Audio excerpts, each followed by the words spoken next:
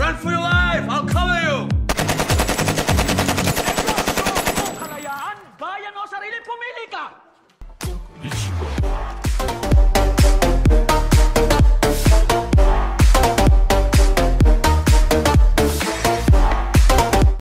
Underwater, you can't breathe here.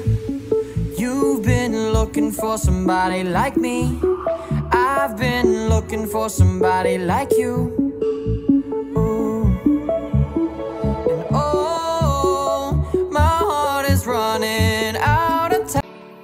Mga kaibigan, ang pag-uusapan naman natin ang final pong deliver ng pinakahuling dalawang set ng Unmanned Aerial System o UAS na Hermes 900. Pero bago po ang lahat, shout out muna sa ating tagapanood sa numerong uno na si Trevor Sack na walang sawa pong nanonood sa aking video. Salamat po talaga sir.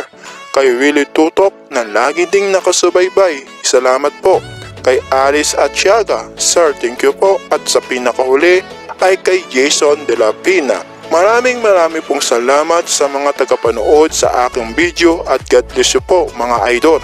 Pero bago po lahat, don't forget to like at subscribe ang aking channel at i-hit ang notification bell para kayo'y ma-notify sa mga bagong video ko. Salamat po!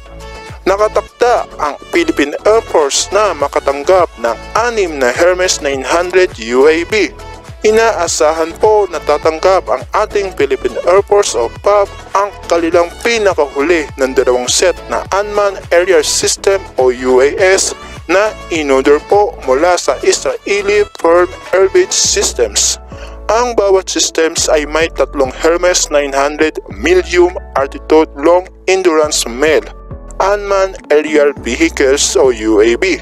Sinabi ng Philippine Air Force sa pinakabagong edisyon na opisyal na publication na ang serbisyo ay inaasahan ang pangunahing paghahatid ng dalawang unmanned aerial system na binubuo ng anim na Hermes 900 ground control station, ground data terminal at iba pang support equipment. Ito ay kalagdagang magpapalakas ng coverage ng ISR sa buong bansa, sabi ng Philippine Air Force sa nasabing publications.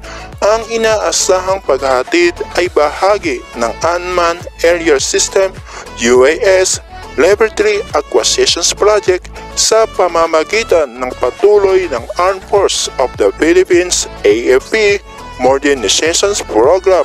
Sa ilalim ng proyektong ito, ang Philippine Air Force ay nakakuha ng isang sistema ng Hermes 450 na may tatlong brand new na UAV at tatlong mga sistema ng Hermes 900 na may tatlong UAV bawat isa.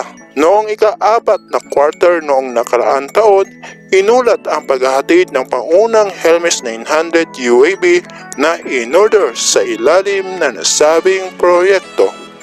Mga kaibigan, maraming maraming salamat po ulit sa panonood ng aking video and don't forget to subscribe at like ang aking video at i-hit ang notification bell para makatanggap kayo ng mga bagong video ko at pakipollow na rin po ako sa aking Facebook page Cybertech08 Vlog na sa ilalim po ang link. Salamat po sa uulitin.